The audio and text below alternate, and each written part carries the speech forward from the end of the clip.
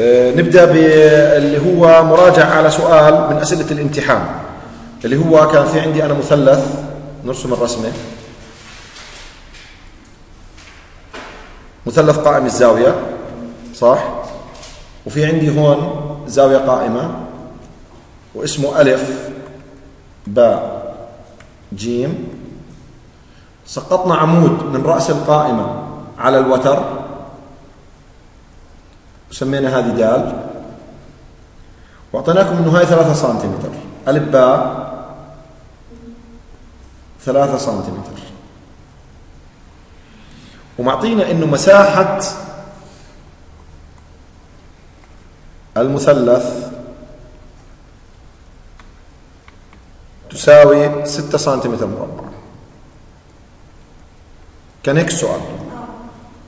أيوه. فبدنا نطلع طول بادال قديش بادال هيك كان السؤال. صح؟ طبعا أنا لما أجي أطلع على المعطيات لما أطلع على المعطيات بلاقي إنه المثلث ألف با جيم نوعه قائم الزاوية. أنا ممكن أطلع إنه با جيم هي القاعدة وألف با هو الارتفاع. فممكن أستغل قانون مساحة المثلث لأنه مساحة المثلث شو مالها هي المعطاه فاذا كأنه بحكي لك استخدم قانون مساحة المثلث. طب إيش قانون مساحة المثلث؟ خلينا نتذكر. مساحة المثلث تساوي نص ضرب طول القاعدة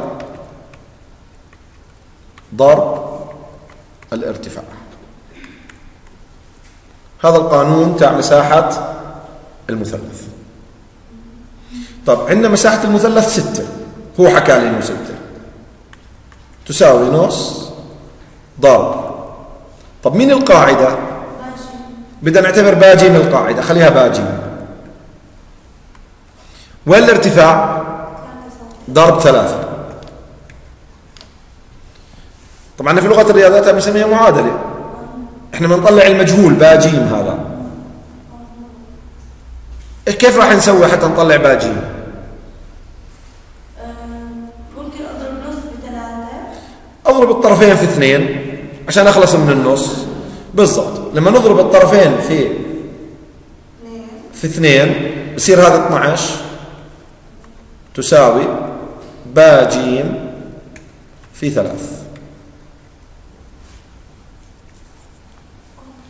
لما ضربت في اثنين اثنين تشرب مع نص بصير واحد بصير با جيم إذا با جيم لحالها شو بتساوي؟ بنقسم على ثلاث الطرفين بيطلع الجواب أربعة باجيم شو بتساوي؟ أربعة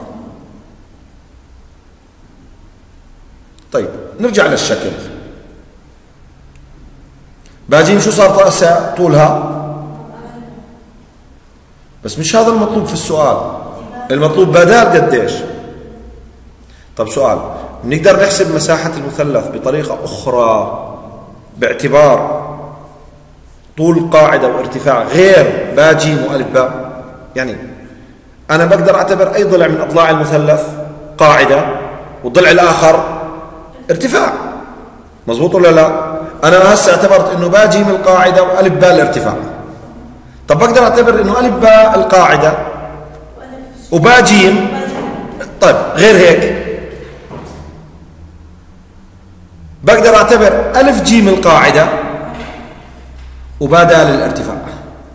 شو رأيك في الحكي؟ ألف جيم الارتفاع هذا مبني على مفهوم الارتفاع. مفهوم القاعدة والارتفاع. لأنه أنت هون إذا اعتبرنا بادال هو العمود النازل على الضلع ألف جيم بقدر أعتبر أنه ألف جيم قاعدة وبادال ارتفاع.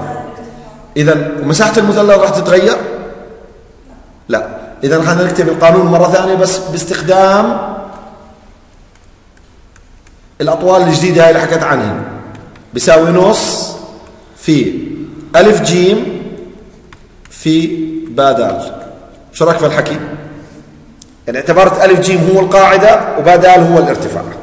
طيب سؤال ألف جيم بعرفه؟ ألف جيم أه؟ لا لا بعرفه.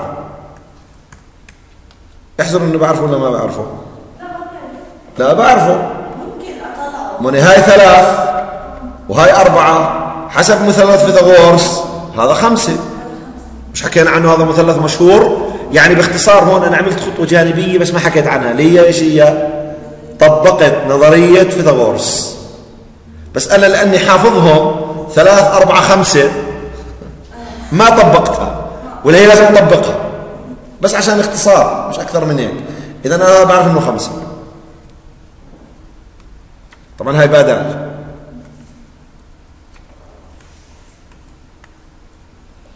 يلا نضرب في اثنين الطرفين. شو بيطلع عندك هون 12 يساوي 5 ضرب بادال طب بادال لحالها شو بتساوي؟ 12 تقسيم 5 خلص. مش ضروري تحليها يعني هذا هو الجواب تاعك. هذا صعب. حرام عليكي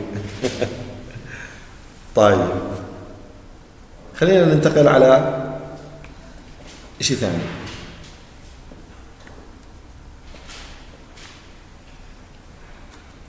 هلا أنا راح أخلط بين صراحة عدة موضوعات. راح أبدأ من هذا. شايفين هذا يا جماعة اللي أنا مطلعه قدامكم مكتوب عليه للصف السادس. هذا هو تكملة وحدة الهندسة اللي راح نشتغل عليها. إحنا ضايلنا في الهندسة اللي هي كيف نحسب المساحات والحجم والمحيط. اليوم درسنا راح يكون عليها بشكل رئيسي. ففي عندكم هنا موقع اللي هو تاع قطوف. حاط لكم لينك يمكن داخل الموقع أنا. إذا دخلت عليه ادخلي على موقع إدارة التعلم تبعته. في عندك الدرس هذا موجود. خلينا نأخذ آه، المحتوى شرح الدروس. خلينا نتكلم عن مساحة المثلث. طلع هون في مساحة المثلث أنا محضر هون تحضير. ترى هذا بنفع على شغلتين. بنفع إذا أنت كنت بتتكلمي عنه كتدريس أو بتتكلمي عنه كرياضيات. خلينا أمسك مفهوم ارتفاع المثلث وهي اللي كانت فكرة الامتحان صراحة. هاي فكرة الامتحان تبعكم. فكرة السؤال. يعني مبدأها من هون إجا. شوف. هلا أنت عندك هاي الشكل؟ هذا المثلث أنا بقدر أحركه زي ما بدي. شايفي كيف؟ يعني دايناميك هذا. الآن بقدر أرسمه زي يعني أشكل منه زي ما بدي.